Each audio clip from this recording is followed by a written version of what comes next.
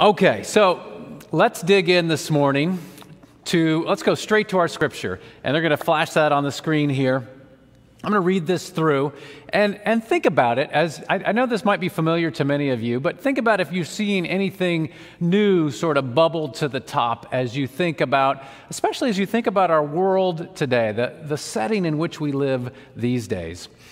So, this is from the Sermon on the Mount. It's Matthew, Gospel of Matthew, chapter 7, verses 1 to 5. Do not judge so that you may not be judged. For with the judgment you make, you will be judged, and the measure you give will be the measure you get. Why do you see the speck in your neighbor's eye, in your neighbor's eye, but do not notice the log in your own eye? Or how can you say to your neighbor, "Let me take the speck out of your eye," while the log is in your own eye? Jason, you hypocrite. First, take the log out of your own eye, then you will see clearly to take the speck out of your neighbor's eye. You know, it's really interesting. Often we tend to go to a very spiritual place with this. We tend to internalize it and think, oh, this is just work that I'm doing by myself. But uh, it's also interesting to note that this is one of Jesus' great stand up comedy routines when he's using this idea of a speck and a log sticking out of uh, our own eye as we're trying to get a speck out of someone else's eye. So I, wanna, I want you to hang with me for a second, and I want you to think about what it is to judge someone. A couple of days ago, my family and I, we were enjoying some, some swimming time, and we were here we were throwing ourselves into the water. And we were doing some fun flips and dives and trying to do it as good as possible. None of us are expert divers by any means. Uh, and someone had this idea. They said, hey, you know what? We should be like Olympic judges. And let's go ahead and give scores for everybody. It, it was all in good fun. And it, and it all went well until the judge from Maryland, who shall, rename, who shall remain nameless, Peggy, till the judge from Maryland had the nerve to give me a two on my front flip just because I landed on my rear. Well, it was water, so it was okay. I think it deserved at least a three. That's not the kind of judging that we're talking about today. We are talking about the difference between what it is to use good judgment and what it is to be judgmental. Think about it this way every day, every hour, we have to make judgments about what is right and what is wrong. We have to make judgments about who to trust and who not to trust with our lives, with our children, with our money, even with our faith. What source do I go to when it comes to COVID precautions? Do I send my kids back to school? Do I attend that event? Which politician do I think is really telling me the truth? Which institution has my best interests at heart? Even listening to this and participating in this worship service and listening to preachers like me, you should practice good judgment. Is Pastor Greg leading me down the right path? Or maybe down a wrong path? You have to make that judgment. We need to make judgments all the time. We need to make good judgments so that we can be safe, so that we can protect our loved ones and communities, and so that we can live well. Now, it's fair to note that Jesus made a lot of good judgments himself. He made a lot of judgments about what was going on around him in the world. So think about it. He was always making judgments about uh, Roman imperial rule, which was unjust, and he made it known that it was unjust. That was a judgment. He was using discernment to decide and tell people what was just. That was a judgment. He was also not pulling any punches when it came to talking about his own religious leaders and the fact that they were really long on talk and really short on action. Another good judgment. He even makes judgment, judgments in the stories he tells, like the one we saw today, or like the wise man. He built his house upon the sand, and what happened? The house got washed away. We need to practice good judgment. But here's the thing, and here's what I want you to remember because I think a lot of times we get stuck in this place. When we hear do not judge, we think, oh, I can't make good judgments. I can't practice discernment. But there is a difference between exercising our good judgment and judging other people. Okay? So, this is perhaps the important distinction for today. And additionally, to make it even harder, sometimes these days, I think in particular, we have this other question How can I take a principled stand for something that I believe in and that I'm confident is right, while at the same time not judging other people? That's really tricky terrain sometimes. So I want you to think about that as I continue. We're going to talk a little bit more about the scripture. Feel free. I, I love it when you put stuff in the chat. I know that sometimes you want to listen, and I appreciate that too. But if, you, if you'd like, feel free to add things to the chat. And we're going to have talk back afterwards, so maybe we can get to some of that, and we'll be able to share some of the wisdom that you have. So as I dug into the scripture, here's some things I wanted to know. I thought, well, because of this issue of good judgment being different from judgmentalism, what does this word judge really mean? How did Jesus mean it? Can we get any insight into that? So I went back and I studied the Greek. That was the language that the New Testament was, was written in. Matthew, the writer of this gospel, put it in Greek, started with it in Greek. And what I found was that the word judge in Greek is very similar to the word judge in English in the sense that it can mean many things. You can be an Olympic judge and give scores, you can be a judge in a court of law, you can practice good judgment, and you can be judgmental. That's what I learned in Greek. So, all right, maybe it didn't clear things up a lot there, but a little further study showed me that Jesus is clearly talking and urging his listeners not to be judgmental of others. Okay, full confession time. I've been watching a lot of NBA basketball recently. I felt deprived all uh, winter and spring not being able to uh, watch the NBA playoffs. And here we are, full, sp- full swing. And I sit there and I yell at the, even though my beloved Phoenix Suns are out of the playoffs, didn't make it, I will sit there and yell at the TV over and over again. Come on, ref, how did you not see that? Put your glasses on. Oh my goodness, that is such a travel. Whoa, this guy is a terrible passer. When is he going to learn how to pass? The coach needs to get him out of there. My judgments can go on without end for all two hours of a basketball game. And don't get me started on Damian Lillard. The guy is so good, he basically knocked my again, beloved Suns right out of the playoffs. And so I'm trying really hard not to be judgmental, even if someone's so skilled. I joke, of course, but we all know that that's where judgment can start. Then, of course, it can run much deeper. So I had two weeks to prepare for this sermon. We knew what it would be. We got this sermon on demand, and it was from a young adult. And so I really wanted to, to give it extra attention because I know that this young adult really was curious. What do we do, especially, I think, in a world of social media where judgments can come really fast and where we're living our lives in a much more public way a lot of times, and so we open ourselves up to judgment a lot. And so, as I thought about it, I realized just how good I am at judging other people. But I know that I'm not alone. So I'm going to share a couple of statements. And I want you to just, in your own head, think about if you have any similar thoughts, any thoughts akin to what I struggle with. Here's, here's some of those thoughts. I think things like, why in the world does he do it this way? Does he do it that way? When there's clearly a better way to do it. How about this one? Why does she care so much about that? It's not that important.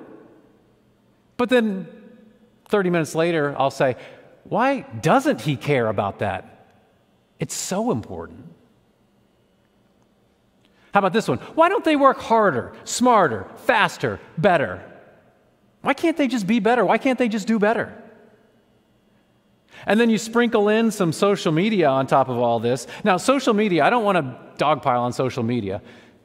social media has certainly not invented the fine art of judgment. We know that it was clearly going on, going on as far back as Jesus' day. But I think what it does is it magnifies it because we know what everybody's thinking all the time now. So, maybe you connected with some of those ways of judging other people.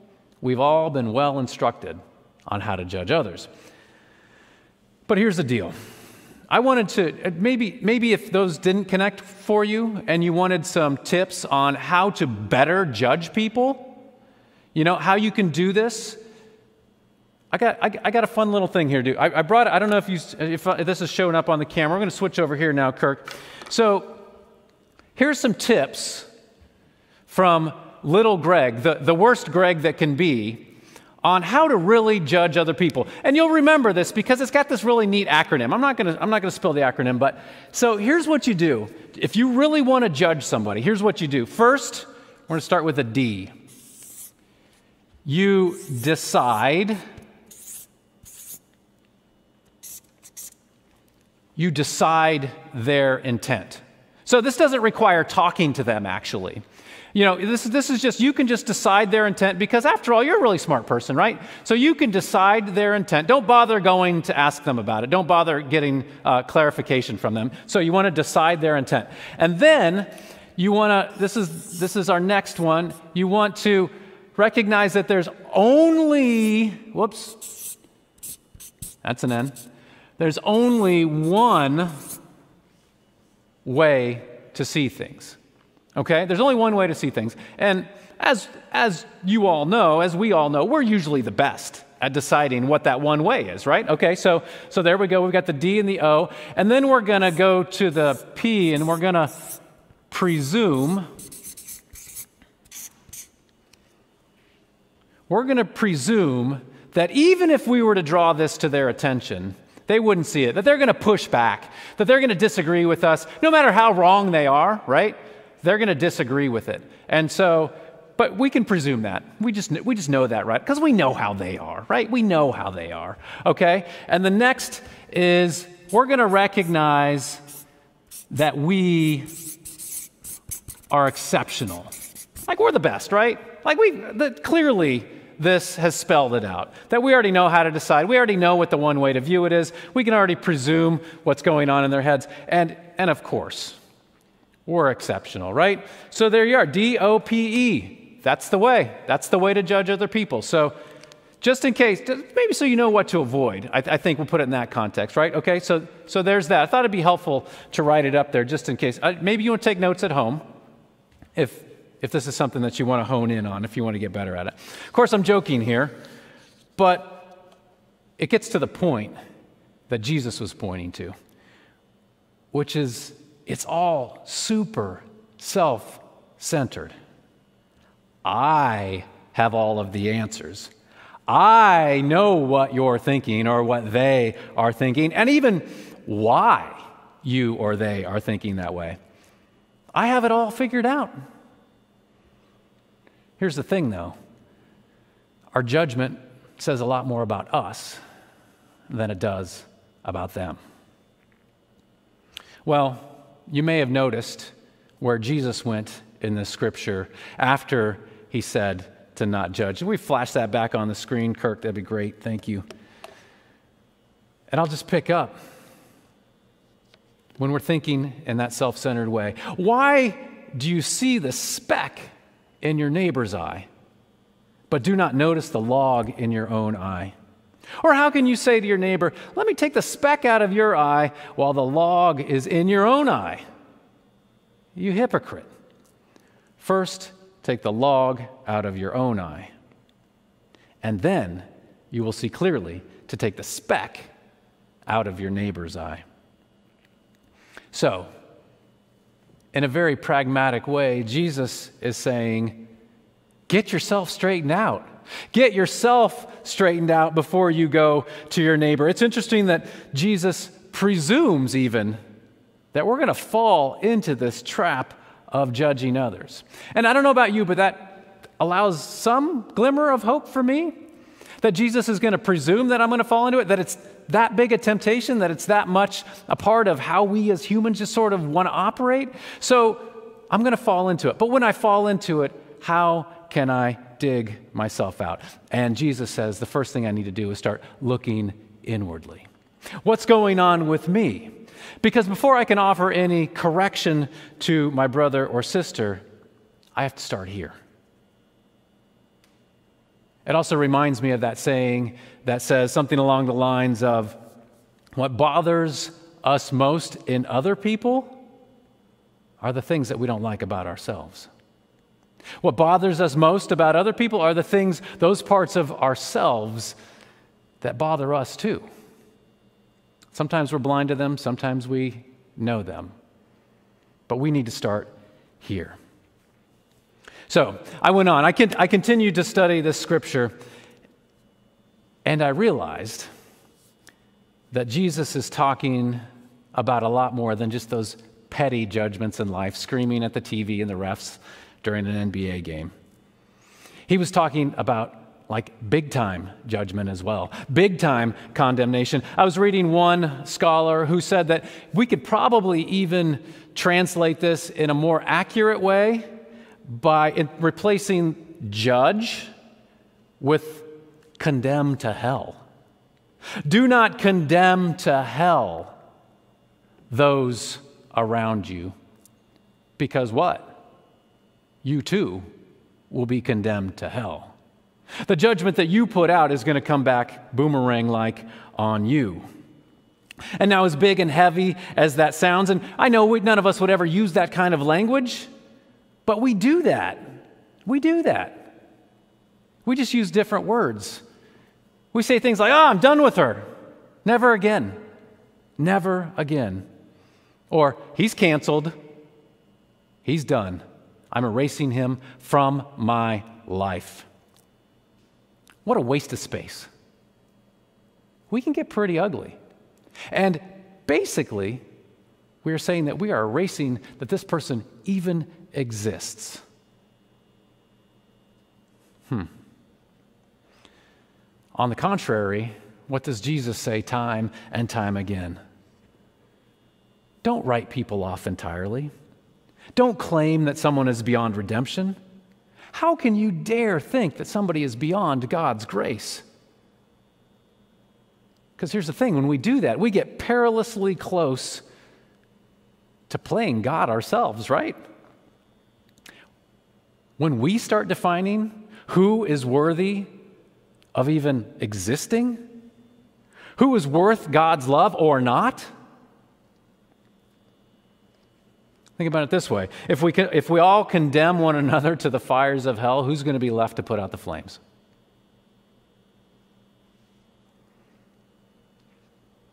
Again, I want to be clear. I'm not talking about abandoning our principles. And I want to be super clear. I'm especially not talking about those who are suffering abuse or mistreatment at the hands of others, neglect. No, we're not talking about that. But what I am talking about is let's not confuse judgmentalism with practicing good judgment. Jesus wants us to practice good judgment. Just 10 verses later in the same speech, it's a Sermon on the Mount. Jesus points to the necessity of good judgment when he warns us about false prophets, about those who want to manipulate us for their own gain. So, of course, we must use our own God given wits and intuition to find the right way and the wrong way in life. Even further in Matthew, Jesus instructs us on how we ought to confront a member of our community if we perceive an error in their ways, or how we should be confronted if there is an error in our ways. That's Matthew 18. Jesus absolutely wants us to practice good judgment and to help one another in life, especially our sisters and brothers in faith. So, Let's bring it around the corner to the end. Because that leads us back to what I think is really sort of the million dollar question today. How can I take a principled stand on something without being judgmental of others? Because that's so often the way it's couched, right? If I say that racism is wrong, if I say that racism is a sin, well, then people automatically assume that that puts uh, someone, by whatever their definition is, of, of, a racist in the category of does not exist, never will exist, and is bound to the fires of hell. Well, who am I to say that? It's wrong. But how am I going to work with that person? I'm going to get to that in a minute.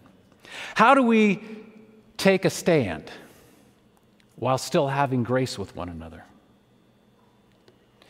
And this is where, for me, it's really helpful to realize that this is not an impossible task. It's a very difficult task, but it's not an impossible task. And it's been done time and again, and not only by Jesus. It's the Nelson Mandelas of the world, the John Lewises of the world, the Malalas of the world. People, think about them.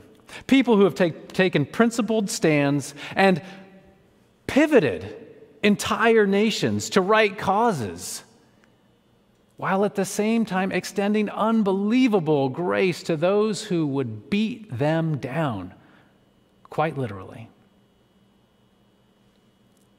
Taking a principled stand can work hand in hand with extending grace.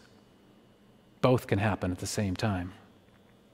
Okay, so how do we do it? All right, we I'm going to pivot back over here.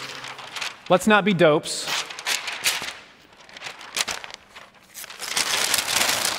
We can, we can do better. Here's, here's what I really want you to remember for today, all sarcasm aside. the first starts with an H, and it's hope.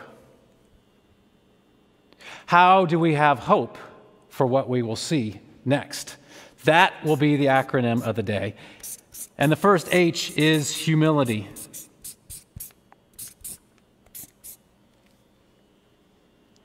We have to recognize that as we talk to somebody else, as we try to improve somebody else, there may be a plank in our own eye or a log in our own eye. Humility is the first H. Next, O. We need to own the fact that there may be more than one way there may be more than one way to see something. And this goes hand in hand with humility, of course. If we own that there may be more than one way, we recognize that we may not have the absolute corner of the market on perspective. Okay, so what's the P? And this is this gets hard. Presume that we have some things in common presume that they're coming from a good place, that they're coming from a place that makes sense to them at least, and that they're not evil to the core. The word evil gets thrown around a lot these days. We need to be much more careful about how we use it. Okay, and the next, maybe you can even guess it. I've said it a couple times. Extend grace How can we extend grace to one another, even with the hope that that grace will be extended to us? Wouldn't that be amazing? So here we are hope. From dope to hope. Humility, own that there may be more than one way, presume that another person's intent comes from a good place, and extend grace. If we can do these things, and they're not easy, if we can do these things, then we have created the ground by which we can still take a principled stand. None of these in this HOPE acronym are saying that we need to give up who we are, what's right, what we believe is right, but they're creating a way of thinking and a way of being that creates an opportunity for God to work. Because when we write somebody off, condemn them to hell, when we write them off entirely as hopelessly wrong, as ignorant, as pig headed, as mean or dumb or lazy, how much room have we just left for transformation? For them or for us? You know, oftentimes we take the scriptures and we want to, I would say, over spiritualize them. And by that I mean that we want to take them in and we want to put them into ourselves and we want to be these very holy people. And that's good, but I think sometimes we miss the fact that Jesus gives us these teachings not because it's just going to improve us, but because it's going to improve our world. And so, do not judge others is not just something for me to ingest and work on, it becomes a way of being.